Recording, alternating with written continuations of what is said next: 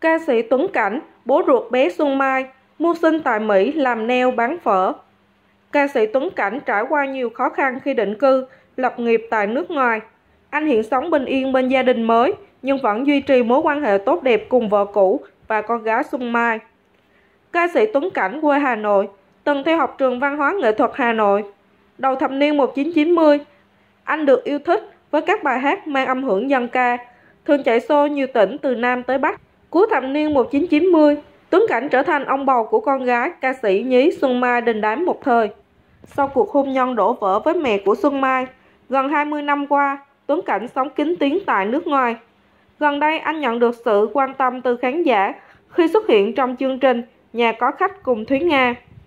Cụ ca sĩ chia sẻ về hành trình lập nghiệp ở Mỹ, hé lộ thêm về gia đình mới bên người vợ sau này. Giọng ca quan ngõ nhà em cho biết anh và nghệ sĩ guitar Thu Thu, mẹ Xuân Mai, hết duyên nên ly hôn vào năm 2004. Anh đi bước nữa với người vợ thứ hai khi còn ở Việt Nam. Sau đó vợ bảo lãnh cho tôi sang Mỹ. Chúng tôi có một con trai năm nay 17 tuổi. Vợ thứ hai của tôi hiền lành, đảm đang. Chúng tôi sống vui vẻ, an phận, Tuấn Cảnh nói. Thời gian đầu sang Mỹ, Tuấn Cảnh và vợ sống tại Hawaii. Nhà vợ có sẵn tiệm neo, nhưng ít thợ nên ca sĩ cũng sắn tay phụ làm neo cùng bà xã. Sau vài năm, gia đình anh chuyển đến California. Lúc đó tôi chân ướt chân ráo, phải đi làm thuê cho người ta một vài công việc. Vợ thì vẫn làm neo, bố Xuân Mai cho biết. Trong một lần tụ tập đồng nghiệp, Tuấn Cảnh nấu phở đã bạn bè và được Thúy Nga khen ngon. Được bạn bè khuyên mở tiệm phở, Tuấn Cảnh nghe theo và trở thành ông chủ mát tay. Nhiều năm nay, thu nhập của anh chủ yếu nhờ việc bán phở và được các đồng hương ủng hộ, trong đó có không ít bạn bè là nghệ sĩ. Trước khi lập gia đình, bé Xuân Mai cũng từng có thời gian phụ cha tạo quán phở. Tôi kinh doanh phở vì sang Mỹ cũng không có nghề nào làm. Hơn nữa, nấu phở là nghề gia truyền của nhà tôi. Từ bé tôi đã phụ cha mẹ nấu phở. Quán của tôi trộm vía đông khách, trời thương nên đủ ăn. Nhưng làm hàng ăn cũng cực. Đến giờ tôi vẫn tự đứng bếp nấu nướng, chứ không chỉ quản lý như người khác, nên mới vất vả. Tuấn Cảnh nói.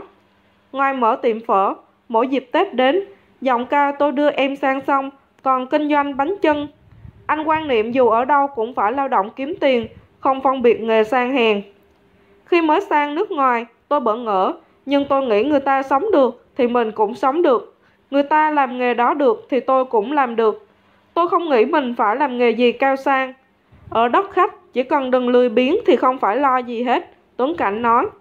Bố của Xuân Mai dự định làm việc tích góp để sau này nghỉ hưu về lại Việt Nam sinh sống.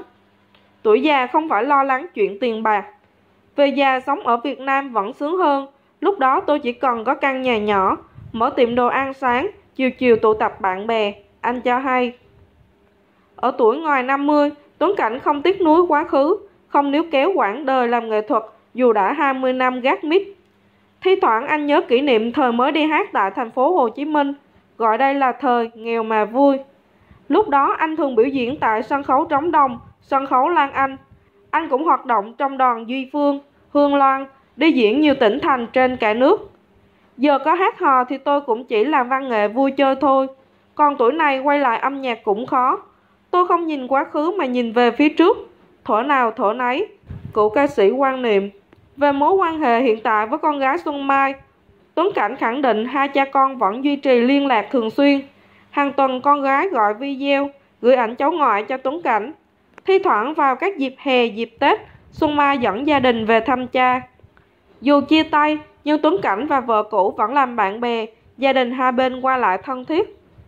Vợ cũ tôi đang ở cùng Xuân Mai, thi thoảng vẫn về California chơi, và vợ tôi cũng lái xe đưa đón, chở đi chơi. Hồi Tết vừa rồi, mẹ con Xuân Mai về nhà tôi chơi. Xuân Mai thì hiện ở Ohio với chồng, ba đứa con và mẹ, bố Xuân Mai nói thêm. Trước đây Xuân Mai cũng từng chia sẻ về mối quan hệ thân thiết cùng gia đình mới của bố. Lúc bố mẹ chia tay, cô và em trai còn nhỏ, nhưng cô không trách móc và cho rằng cha mẹ chia tay là do duyên số. Nữ ca sĩ từng bộc bạch trong một cuộc phỏng vấn. Tôi luôn tôn trọng quyết định của bố mẹ, là bố mẹ thì không ai muốn con mình phải khổ vì sống thiếu một trong hai người.